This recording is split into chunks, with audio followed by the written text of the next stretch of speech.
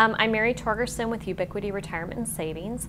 Um, the value that I find out of COO Alliance is just being able to talk with other COOs uh, confidentially about the challenges that we face in our companies and be able to share ideas about how to solve for those. Um, what I've found is that it doesn't matter what industry you're in, how big your company is, how much revenue you're driving, we all have the same types of issues. So it's just really nice to have a intimate setting where you can be vulnerable and be real uh, and put your challenges on the table and have people who are invested in your company and your success um, to help you problem solve. Knowing that there's a community of people that are in the same situation, I've been able to um, find some pieces of technology I didn't know were out there that could help us as a company.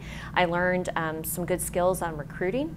So those are definitely two great things that I've walked away with from the first meeting. Cameron is great about giving us the building blocks, but it's really that exchange of ideas with your peers that's the most valuable part of this. So he's created a really good structure where it's not just lecture and sitting there in a classroom type environment. It's really getting your hands dirty and digging into things and brainstorming. And I think that's that's the bigger value out of it.